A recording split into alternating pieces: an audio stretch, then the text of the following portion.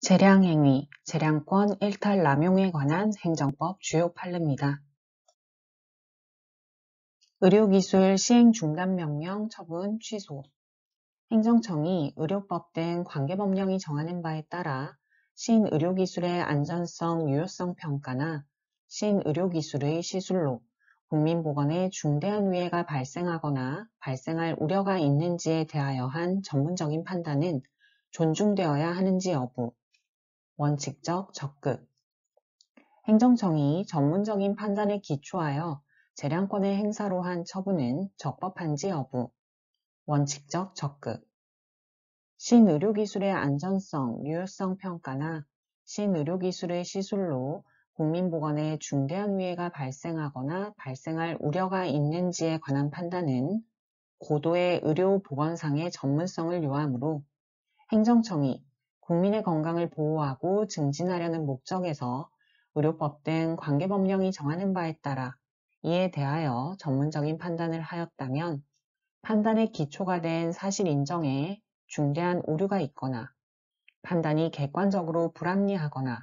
부당하다는 등의 특별한 사정이 없는 한 존중되어야 한다. 또한 행정청이 전문적인 판단에 기초하여 재량권의 행사로서 한 처분은 비례의 원칙을 위반하거나 사회통념상 현저하게 타당성을 잃는 등 재량권을 일탈하거나 남용한 것이 아닌 이상 위법하다고 볼 수 없다. 개발 제한 구역 내 액화 석유가스 충전소 사업자 지정 신청서 반려 처분 등 취소 개발 제한 구역에서의 자동차용 액화 석유가스 충전 사업 허가 여부를 판단할 때 행정청에 재량권이 부여되어 있는지 여부, 적극, 기속행위와 재량행위에 대한 사법심사 방식, 구 액화석유가스법에서 충전사업의 허가에 관한 기준과 시설 기준, 기술 기준을 구분하여 별도로 규정하고 있으므로 그 기준들을 모두 충족하여야 충전사업을 할 수 있다 할 것이고 나아가 구 액화석유가스법 제4조 제1항 제1호에서 정하고 있는 허가 제외 사유인 사업의 개시 또는 변경으로 국민의 생명보호 및 재산상의 위해 방지와 재해 발생 방지에 지장이 있는 경우에 해당하는지 여부는 액화석유가스의 특성, 그 허가 대상 지역 일대의 인구 조밀도, 충전사업소를 설치할 건물과 인근 건물의 용도, 구조 및 특성, 액화석유가스의 폭발이나 화재로 인한 안전사고가 발생하였을 경우에 예상되는 위해의 정도나 범위 등 여러 가지 사정들을 액화석유가스법 자체의 목적에 비추어 합리적으로 고려하여 결정하여야 한다.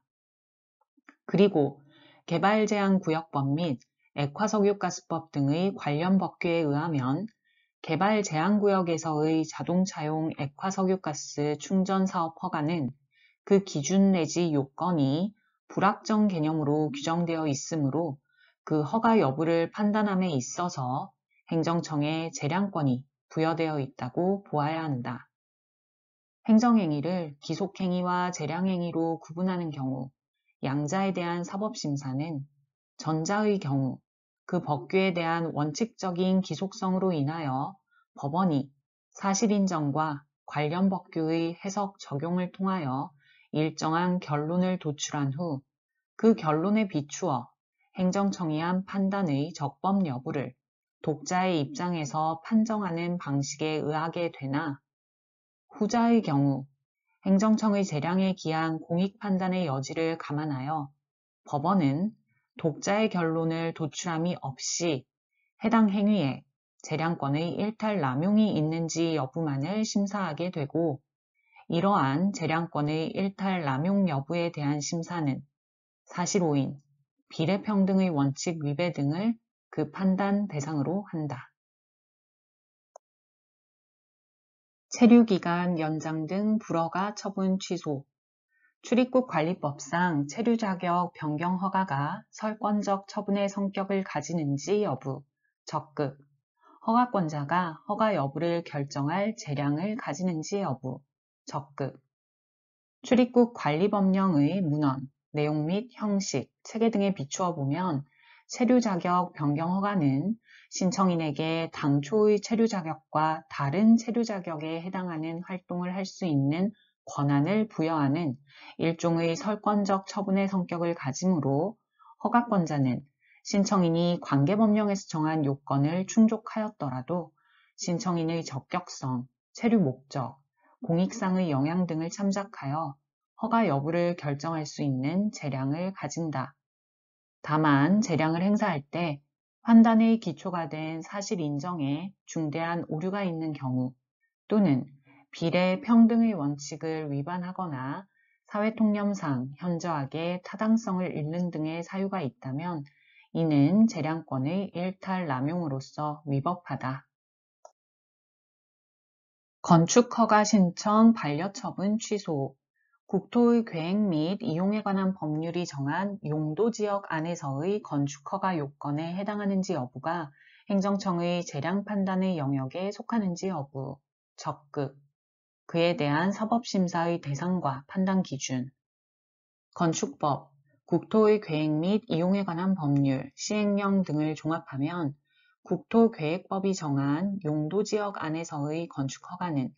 건축법 제11조 제1항에 의한 건축허가와 국토계획법 제56조 제1항의 개발행위 허가의 성질을 아울러 갔는데 개발행위 허가는 허가 기준 및 금지 요건이 불확정 개념으로 규정된 부분이 많아 그 요건에 해당하는지 여부는 행정청의 재량 판단의 영역에 속한다. 그러므로 그에 대한 사법심사는 행정청의 공익 판단에 관한 재량의 여지를 감안하여